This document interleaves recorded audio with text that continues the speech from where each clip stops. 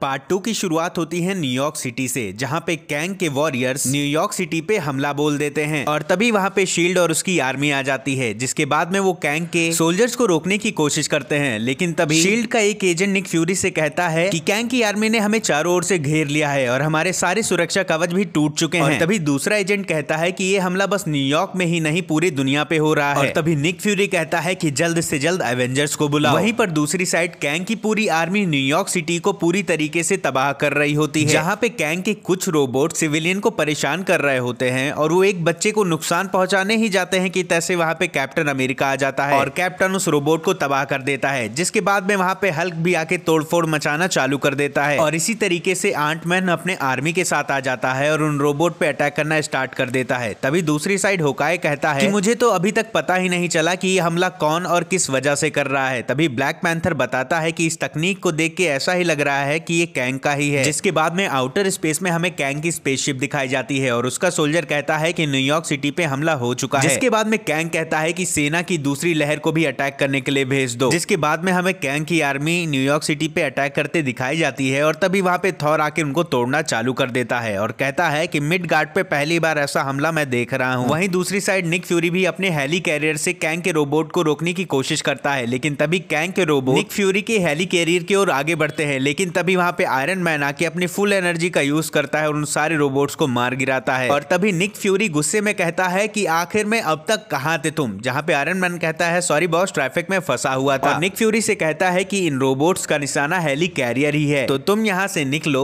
हम एवेंजर्स मिलके इन रोबोट्स को रोक लेंगे जिसके बाद में वहाँ पे थॉर आ जाता है और रोबोट्स को तोड़ने लगता है। और आयरन मैन से कहता है कि हल्क को ऐसा लगता है कि वो मुझसे ज़्यादा ताकतवर है पर उसे नहीं पता कि उससे ज़्यादा रोबोट्स मैं तोड़ चुका हूँ। तभी आयरन मैन कहता है कि इस लड़ाई को लेके थोड़ा सीरियस हो जाओ, जिसके बाद में आयरन मैन कैंग के रोबोट्स को स्कैन करना स्टार्ट कर देता है। जिसके बाद में कैंग का एक बहुत बड़ा होलोग्राम बनता है और वो आयरन मैन से कहता है कि तुम्हें क्या लगा था कि ये लड़ाई खत्म हो गई है? अब मैं इस पूरी दुनिया पे राज करूँगा और तुम्हारी दुनिया को और भी ज़्यादा ताकतवर बना दूँगा। और अवेंजर्स पे असली हमला तो अब होगा। कैंग के इतना ही कहने के बाद में अवेंजर्स ने जितने भी रोबोटों को तोड़ा हुआ होता है, वो एक बार वापस से खड़े हो जाते हैं और उनके ऊपर में अटैक करना स्टार्ट कर देते हैं। और पूरी एवेंजर्स टीम एक बार फिर से कैंग के रोबोट्स का सामना करना स्टार्ट कर देते हैं। पर इस बार वो रोबोट्स पहले से भी ज़्यादा पावरफुल हो जाते हैं और एवेंजर्स के किसी भी वार का उनपे असर नहीं होता। कैंग के वो रोबोट्स एवेंजर के ऊपर में भारी पड़ने लगते हैं, जिसके बाद वो कैप्टन अमेरिका एंड होकाई को घेर लेते हैं, लेकिन तभी वहाँ पे वास एक क्वीन जेट लेके आ जाती है और उनके ऊपर में अटैक करना स्टार्ट कर देती है, जिसके बाद में Hulk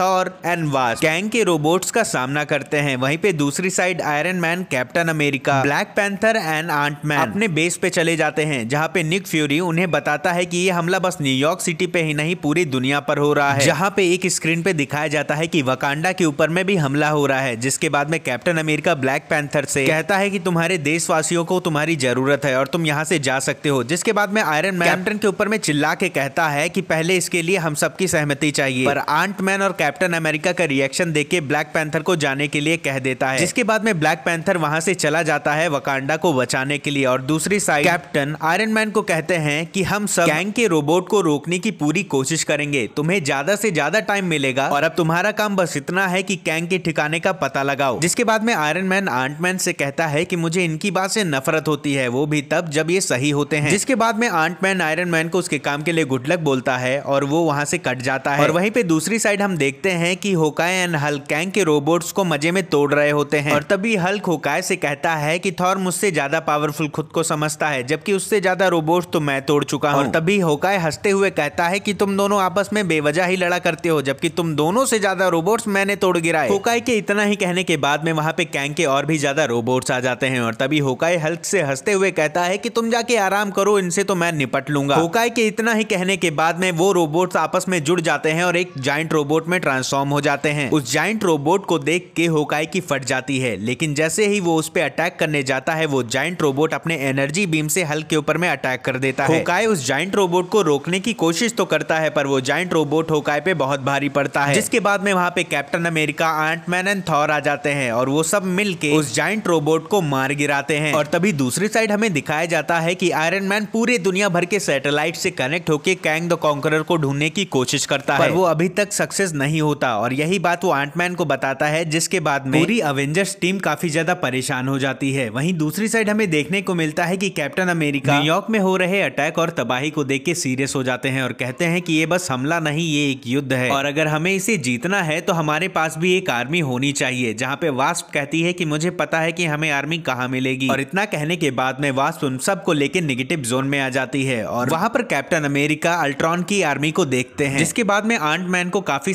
समझाने के बाद में वो अल्ट्रॉन के प्रोग्रामिंग को चेंज करके उसे हिंसा सिखाता है। और दूसरी साइड हमें दिखाया जाता है कि हल्क एंड थॉर कैंग के रोबोट से बुरी तरीके से मार खा रहे होते हैं कि तभी वहाँ पे अल्ट्रॉन की आर्मी आ जाती है और कैंग के रोबोट्स के ऊपर में अटैक करना चालू कर देती है। जहाँ पर अब एक साइड कैंग के रोबोट वर्सेज अल्ट्रॉन के रोबोट्स में फाइट होती है, वहीं पे दूसरी साइड आंटमैन एंड वास्प चुपके से उस स्पेसशिप के अंदर में घुसने की कोशिश करते हैं, जहाँ से वो सारे रोबोट्स आ रहे होते हैं। पर तभी उस स्पेसशिप के लेजर बीम से क्वीन जेट पूरी तरीके से तबाह हो जाता है। बट आंटमैन एंड वास्प उससे बच जाते हैं। और खुद के साइज़ को स्ट्रिंग करने के बाद में उस स्पेसशिप के अंदर में घुस जाते हैं। और वो देखते हैं कि कैंग का एक सिपाही उन सारे रोबोट्स को भेज रहा होता है। तभी वास्प अपने लेजर बीम की हेल्प से उस सोल्जर को मार गिराती है। जिसके बाद में आंटमैन कहता है कि यहाँ पे ऐसा कोई बटन ज़रूर होगा जिससे ये लोग टाइमलाइन से डिस्कनेक्ट हो जाएँ। आंटमैन वो फ़ंक्शन या बटन ढूंढ ही रहा होता है कि तभी वास्प उस पूरे मदरबोर्ड को ही तबाह कर देती है। जिसके बाद में वो टाइमलाइन से डिस्कनेक्ट हो जाते हैं। डिस्कनेक्ट होने के बाद में वो स्पेसशिप और उससे छोड़े हुए रोबोट्स अपने आप ही गायब हो जाते हैं। और इस सक्सेस के बाद में आंट मैन पूरे एवेंजर्स की टीम को ये बात बता देता है कि इन सबको रोका कैसे जा सकता है। जिसके बाद में सारे एवेंजर्स एक एक स्पेसशिप में घुसने के बाद में उसके मदरबोर्ड को तोड़ के उसे टाइमलाइन से डिस्कनेक्ट कर दे रहे थे। और वो सारे स्पेसशिप टाइमलाइन से डिस्कनेक्ट होने के बाद में अपने अपने ओरिजिनल टाइमलाइन में पहुँच जाते हैं। वहीं पे दूसरी साइड हमें देखने को मिलता है कि आयरन मैन के लाख कोशिशों के बाद भी वो कैंग को ढूँढने में असमर्थ होता है और गुस्से में चीज़ें तोड़ना स्टार्ट कर देता है। पर तभी उसके दिमाग में ये ख्याल आता है कि शायद मुझसे कहीं गलती हो रही है और मुझे अर्थ के साथ ही साथ यूनिवर्स में भी कैंग को ढूंढना पड़ेगा और उसके बाद में वो आउटर स्पेस में भी कैंग को ढूँढने लगता है। जिसके बाद में फाइनली आयरन मैन को सक्सेस मिल जाती है और वो कैंग के ठिकाने को ढूंढ लेता है और फाइनली एवेंजर्स को बताता है कि आखिरकार उसने कैंग के ठिकाने को ढूंढ ही लिया है और इसी के साथ इस एपिसोड का एंडिंग हो जाता है।